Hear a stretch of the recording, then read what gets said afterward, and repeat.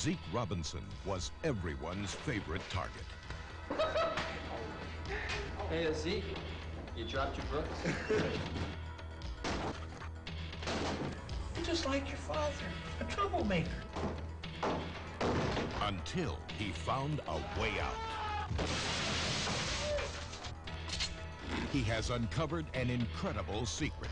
He's got some kind of powerful weapon. It is a highly volatile piece of technology.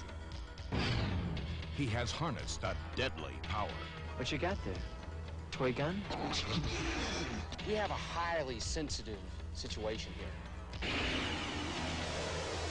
We have an unstable terrorist, heavily armed. And now, the most dangerous man alive He can do anything he wants. is just a boy. See, to me, he's the enemy. We're talking about a 15-year-old boy. You're magical. And no power on Earth can stop him. Take him out.